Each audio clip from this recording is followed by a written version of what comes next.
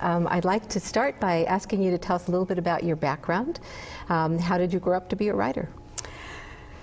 Well, I can't uh, say that there was ever a time in my life when poetry wasn't at the center of my life. When I was a kid, I was always taking uh, pieces of paper and folding them together and making books. And uh, uh then, of course, I had to fill that paper. Um, and so I started writing when I was uh, eight years old. Um, and it's just, um, it's just always been there. Is it true that you grew up in San Jose? Yes, I grew up in uh, San Jose. Uh, I was born in the Mission. Uh, uh my, I was raised in San Jose um, in a place they call Barrio Horseshoe.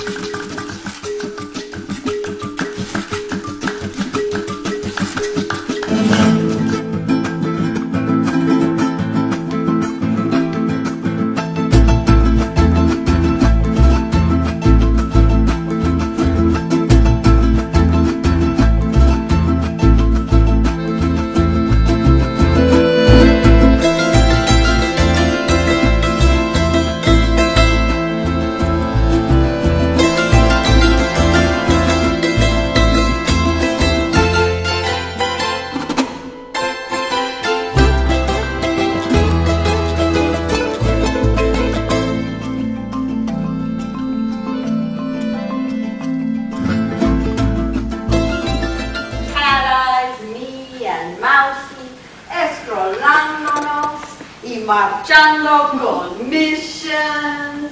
Man, I can't get no satisfaction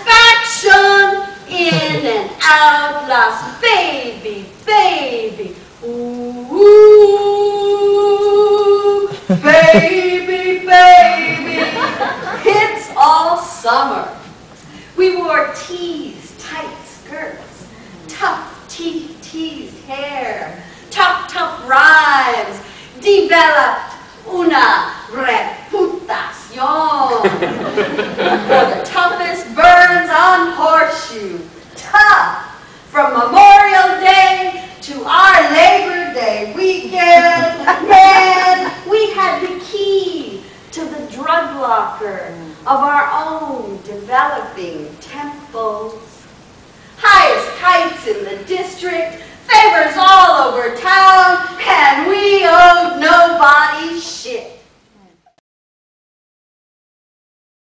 My first book, Emplumada, had just uh, had just uh, been published, and I was on a reading tour, and um, uh, my mother was murdered uh, in in San Jose, and I felt, uh, and it was like the bloodiest weekend in my city's history, is what all the televisions were saying, and and um, and I just felt as if um, poetry wasn't possible in that world, and I didn't think I would ever write again.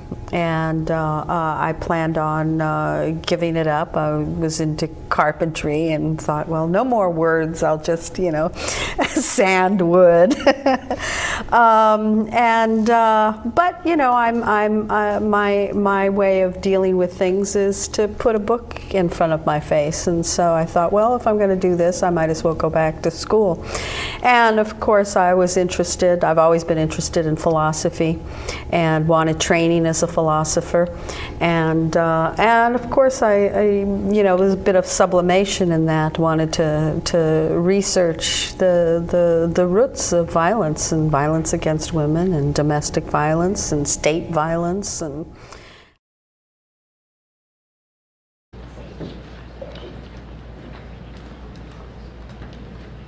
a country you can carry in your pocket airport to airport, a country that exists for you in remembered fragrance and expired stamp. Now the seal of blood embossed upon someone's sunstruck pavement. Who owns this property? Who owns the right to no way out but a busted window a hundred flights up? Who owns the key to heaven's gate?